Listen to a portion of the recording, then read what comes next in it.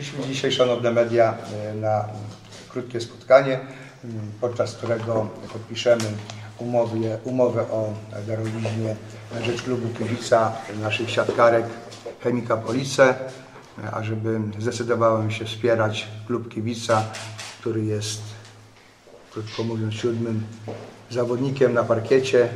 Mm, Świetnie kibicuję. Ja będąc na meczach piłki siatkowej obserwowałem przez dłuższy okres czasu. Zacząłem, podjąłem, podjąłem tą decyzję o e, wspieraniu klubu kibica. Decyzja dojrzała.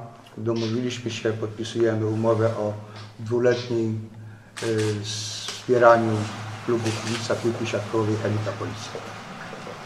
W tej chwili mm, zdecydowałem się właśnie w rozmowach z prezesem odpowiedzieć na jego, na jego pytanie, na jego propozycję pozytywnie, y, twierdząc, że to też, patrząc ze strony marketingowej, gdzieś tam ta zajawka firmy będzie mogła pójść. To mówią zawsze mieściły na zamiary i, i próba, żeby umieszczono elastiką na koszulce chemika, y, no, zaczyna się w cyfrach, myślę, że co najmniej od, od, od 6 cyfr, prawda, za, za sezon i, i gdzieś tam mam mieć 10 cm kwadratowych, to trochę jest nieporozumienie.